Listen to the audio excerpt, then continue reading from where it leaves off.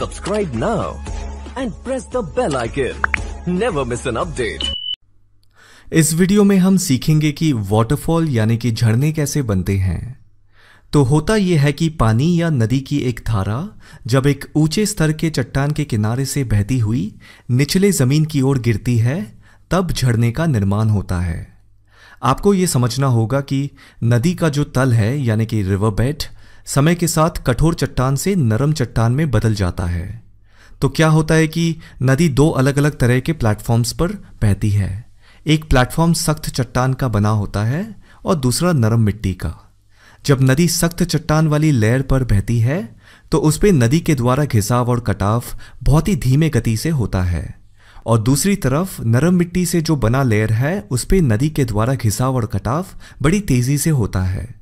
समय के साथ नरम मिट्टी की लेयर मिट जाती है, क्योंकि नदी अपनी बहाव के साथ मिट्टी, मलबा, बहुत कुछ ले जाती है। इस कारण वहाँ एक लैंड डिप्रेशन बन जाता है। अब जब पानी सख्त चट्टान के ऊपर से बहता है और नरम मिट्टी के लेयर पर गिरता है, ये एक प्लंज पूल बनाता है, क्योंकि ग्रेविटी यानी कि गुरुत्वाकर्षण के प्रभाव के कारण पानी की गति बढ़ जाती है नीचे गिरते वक्त। आप देखेंगे कि नीचे की ओर एक प्लंज पूल बन जाता है। इसके अलावा ये नरम मिट्टी का लेयर समय के साथ घिसते घिसते कट जाता है।